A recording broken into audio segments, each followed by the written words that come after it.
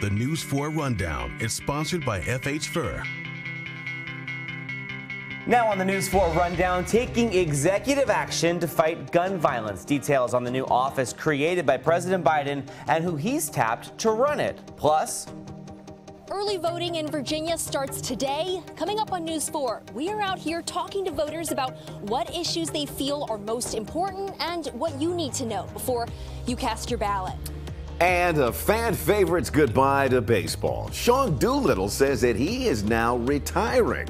We take a look back at his time here in our city. You're watching the News 4 Rundown. I don't know about you, but do just kind of hits. That one hits a little hard. Thanks for joining us for the News 4 Rundown. Our newscast streaming for you. I'm Tommy McFly. And I'm Leon Harris. It is Friday, September 22nd, and we're going to begin with a look at the weather that's heading our way for this weekend. Hmm. Storm Team 4 Chief Meteorologist Doug Kammerer's got a look at the forecast. Hey, Doug.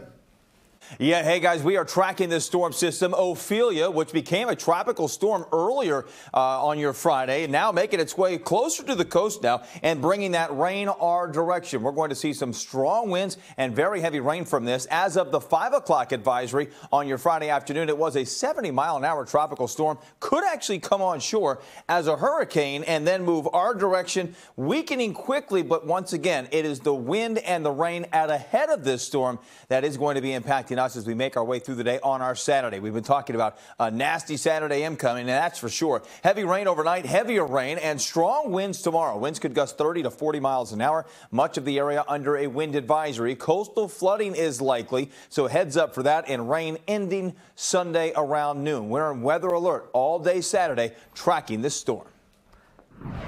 Doug, thank you very much. Now, Leon, let's get a look at some of the other top stories we're following for you. A Fairfax County woman has been found guilty again in the murder of her mother and sister. Megan Hargan was convicted in the 2017 shooting of her family. Prosecutors allege that she staged the crime to make it look like a murder suicide. Detectives later found Hargan had been trying to make about $400,000 worth of fraudulent money transfers into her bank account on the day of the shootings. Hargan was found guilty of the same crime last year, but a judge threw out that verdict over an issue with a juror. She'll be sentenced in January. The people who died in that New York City bus rollover crash yesterday were identified as two chaperones. They were the band director of the school and a retired teacher on their way to band camp. The NTSB spent the whole day at the crash site trying to piece together exactly what happened, and preliminary reports say a faulty tire was the cause. At least five students remain in critical condition. The charter bus was headed from Long Island to Pennsylvania when it ran off the highway and down into a ravine. Thousands more employees at Detroit's Big Three are walking off the job. It's the first escalation in the ongoing United Auto Workers strike. UAW's president has called on union members to strike at 38 General Motors and Stellantis facilities in 20 different states. And this includes a Stellantis facility in Winchester, Virginia, and a GM plant in West Virginia. The call to strike excludes Ford, suggesting that the UAW is more satisfied with the progress on a new contract with that automaker. The union is seeking several things, including a 40% increase in hourly pay and a reduced 32 hour work week. President Biden will be traveling to Michigan Tuesday in support of the UAW workers. And President Biden is taking action against gun violence. He says since Congress hasn't acted, he will. He created the first of its kind Office of Gun Violence Prevention, and Vice President Kamala Harris will lead the office, which will work toward executive actions the president can take alone on gun violence and also support states' efforts to do the same. After every mass shooting, we hear a simple message. The same message all over the country. And I've been to every mass shooting. Do something. Please do something. On this issue, we do not have a moment to spare, nor a life to spare. Nearly 50,000 people died from shootings in 2021. More than half of those were suicides, despite polls showing public support for stricter gun laws. On Capitol Hill, lawmakers do not have the votes to pass an assault weapons ban. Meanwhile, on the Hill, the clock is ticking on a federal government shutdown. Now, if lawmakers don't reach a deal by September 30th, thousands of local federal workers are going to be feeling the impact. News 4 is working for you and putting together what you need to know if you are furloughed or if you need to file for unemployment. Here's News 4's Mark Segraves, who has been tracking this all day with some important details. Hundreds of thousands of people in our region could find themselves temporarily out of work if Congress fails to reach a budget deal next week. That means hundreds of thousands of people without a paycheck. The good news is most federal workers and contractors will be eligible for unemployment benefits. The most important thing to know about unemployment insurance you file in the jurisdiction where you go to work, not where you live. And even if you've been working from home since the pandemic, you file where your office is located. That means most people in our region, even if you live in Maryland or Virginia, will file in D.C. The day you're eligible to apply is the day the government shuts down and when the government is officially unfunded. Uh, that's when people can start submitting uh, unemployment insurance applications. Uh, to prepare in advance of this, I recommend visiting the website, checking the eligibility criteria. Dr. Unique Morris Hughes, director of D.C.'s Department of Employment Services, has her team ramping up for what is likely to be a tidal wave of applications. She wants to avoid the problems so many had during the pandemic. Now, we've learned a whole lot of lessons since the pandemic, and let me tell you, um, the District of Columbia is prepared and ready for a potential government shutdown. Uh, we have staff, we have call center staff that's ready to go. The maximum benefit for DC workers is $444 a week. Hughes says if you might be out of work because of a government shutdown, you should check out the DC Department of Employment Services website now to see if you'll be eligible and to familiarize yourself with the application process. In the district, Mark Segraves, News 4. And remember, News 4 is working for you through all of this. We'll be here to bring you updates as lawmakers work to avoid the shutdown. And if it happens, we'll help you navigate how the closures impact our area and our neighborhoods. Leon? Well, Tommy, early voting has started in Virginia, and it is a big election year for the Commonwealth, with every seat in the General Assembly up on the ballot. Now, if it follows historical trends, this Virginia election could serve as an early indicator of what we can expect in the 2024 election. News 4's Aimee Cho breaks down some of the biggest issues and the races and what you need to know before you head to the polls. We have been talking to voters here at the Office of Elections in Leesburg. Now, even though this is a state election, many people told us presidential politics are playing a huge factor in how they vote. All of Biden's failures the borders, the inflation, the uh, incompetence. My leaning will be towards candidates that do not support uh, Trump. I want to vote, exercise my constitutional right. This election is a pivotal one for Virginia. Abortion, crime, and schools, all key issues. All seats in the General Assembly are up for grabs as both parties seek the majority. Right now, Republicans control the House and Democrats control the Senate. Candidates on both sides urging folks to get out and vote. You vote for this slate of Democrats who are here today, and we're going to focus on taking care of your core quality of life. There's so much energy on the Republican side. We have a plan. Uh, we, are getting people out to vote early. Republican Juan Pablo Segura is running for the open Senate seat in the 31st District against Democrat Russet Perry. It's one of the most expensive and highly watched races in the state and could foreshadow how things will go in 2024. Russet Perry speaking with supporters today. She says one of her top priorities is protecting access to abortion. It's just my privilege to be able to step up for them and to make sure that they can continue to make those decisions with their doctors. Meanwhile, Juan Pablo Segura says he wants to enact a ban on abortion at 15 weeks. Abortion is obviously an incredibly personal, uh, emotional uh, issue. I want to work with the governor and find a compassionate consensus. As the first day of early voting draws to a close here in Loudoun County, election officials say they've seen a huge turnout. Things are great. Uh, we've had over 400 voters today. Uh, last year on the first day of early voting, we had 297. So we've already blown that out of the water. If you're planning to cast your ballot in Virginia, here are the important dates you need to know. Today is when early voting begins. October 16th is the registration deadline. October 27th is the ballot request deadline, or asking for a ballot to be mailed to you. November 4th is when early voting ends, and November 7th is Election Day. Aimee Cho, News 4. Loudoun County election officials say the ballot is extra long this year with more than 80 candidates, so it's taking people a while to get through the whole thing. So budget your time accordingly. FH Furr Plumbing, Heating, Air Conditioning, and Electrical is proud to sponsor the Marine Corps Marathon, saluting those who have served and continuing our commitment to hire veterans who have inspired us for more than 40 years to serve our community to the fullest. It is our honor to say thank you. FH Furr Plumbing, Heating, Air Conditioning, and Electrical is proud to support the Marine Corps Marathon.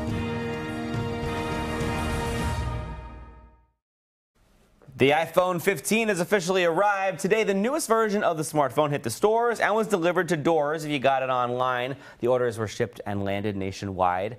And even though it's the 15th time a new iPhone has arrived in our lives, there was still excitement. CNBC reports that the line began to form at the New York City stores at 8 o'clock last night. Right? The prices begin at eh, 799 bucks. The new version of the Apple Watch also became available today, too. That's amazing. In line for what, 14 hours to Yeah. spend $800? I don't like- know about that. Not the warmest day either to go do that. That's true. Oh, and speaking of brand new technology, with that comes some new troubles. That's right. News 4's Joseph Olmo explains why D.C. police have a warning if you plan to order any of these new items. All right, so you pre-ordered your iPhone. You've spent over a thousand dollars on it. You're so excited to come home and see it on the porch, but there's one problem: it isn't even there. It's that time of the year. Today, the new iPhone 15 was released. An exciting time for Apple fans, but also time to be cautious if you plan on having it shipped to your house. Prevention is number one, right? Being able to prevent something from happening. Anthony Wash is a sergeant with DC Police. He wants to make sure when the iPhone arrives at your door, it gets into your hands before anybody else's. You hear about it happening all the time. He recommends tracking the package to make sure you know the exact moment it arrives. Have a trusted neighbor pick it up if you aren't at home. Or There's also ways that you can just leave it at the post office. The post office allows you to leave packages there for up to 30 days, so you can retrieve it, you know, when you have the available time. Okay, well, here's a big secret. If you want to prevent this from happening to you, police say the best thing you can do is just order your iPhone online and do what these folks are doing. Go to the store and pick it up. I mean, if it's something like, you know, something high value, something like this, I would just go get it myself. I don't know. I guess stay home to make sure you get your package. Big piece of advice is be a good neighbor and pick up the package. Exactly. Exactly. Joseph Olmo, News 4. Thanks a lot, Joseph. And how would you like to own a piece of RBG history? One of the late Supreme Court justices' iconic collars, it's still for sale. So Ruth Bader Ginsburg's collar did not get bids high enough at Potomac auctions. They estimated it would be worth between $200 and $400,000.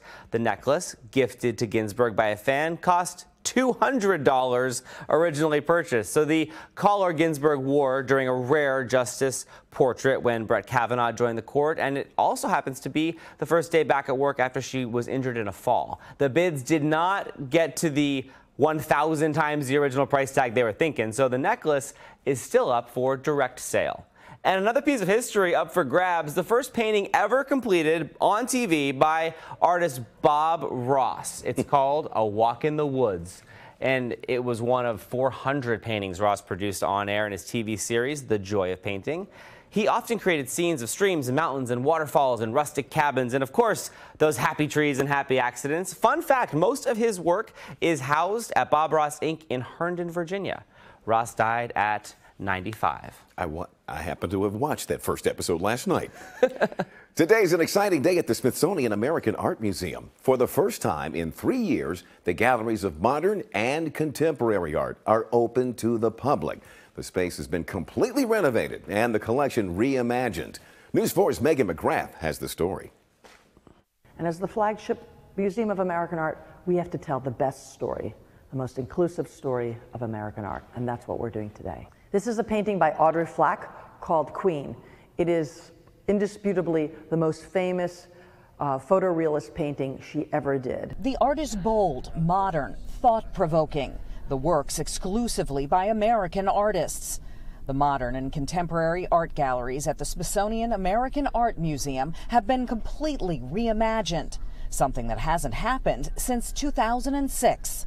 We decided that the modern and contemporary art galleries needed a rethink, a reimagining of the whole story of America and, and modern art. So we closed them, we took everything off the wall, There were some very large pieces which we basically had to box in to keep safe during the construction and the repainting. The galleries had to be closed for three years, but the result is a beautiful space that incorporates the historic building's classic features with modern touches. Walls between the massive pillars are higher, there's a new lighting system, and some windows were covered to allow for more display space.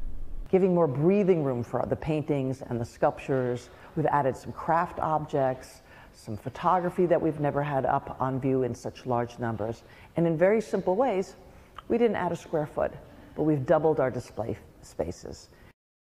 Old favorites, like the great electronic superhighway by Nam June Paik, or the great For SAAM piece by Jenny Holzer, which has words dropping and circling in this great columnar uh, sculpture, but you'll find new discoveries.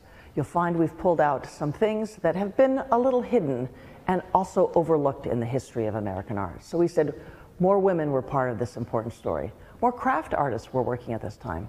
What about self taught artists? Weren't they also working in the modern period? Today is the grand public reopening, and if you want to visit, the museum is open every single day except Christmas from 11:30 until 7.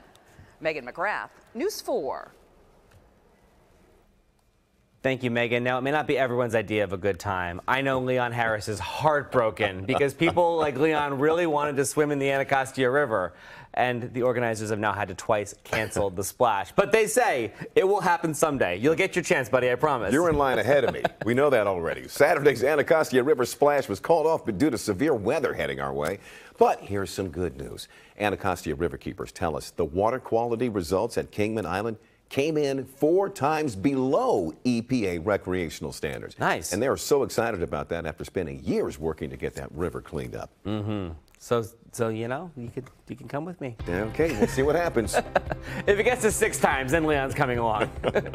Still ahead on the News 4 rundown. Can the Washington Commanders go 3 and 0 this weekend? All right. They'll be tested by one of the best teams in the league. JP Finlay joins us to break it all down. And centenarian salute, a very special birthday celebration for West Point's oldest graduate. You'll meet Colonel Herb and find out his secrets to living past 100.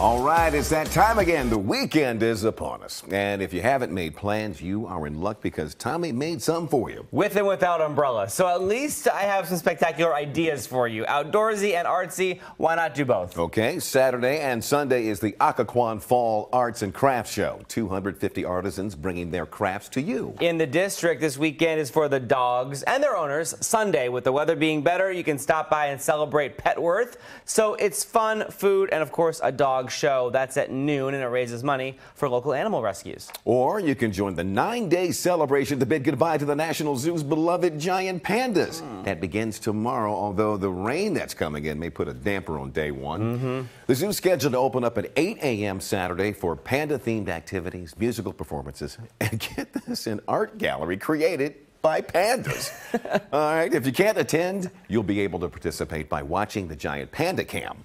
Free entry passes are required for all guests, and you can get them online. The three giant pandas will be leaving D.C. by December 7th. Oh, ah, heartbreaking. They're so talented. They paint like Bob Ross.